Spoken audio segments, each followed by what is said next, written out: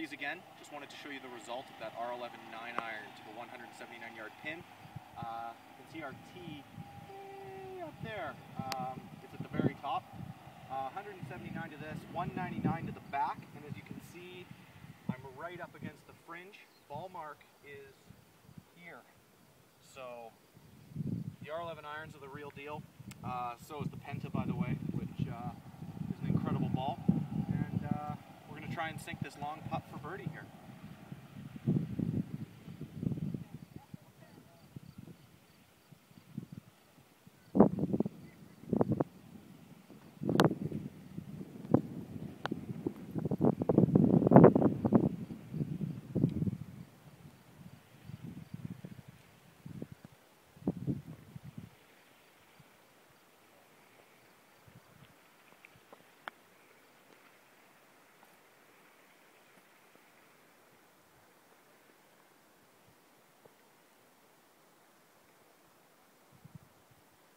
Not bad for having a bug on my arm.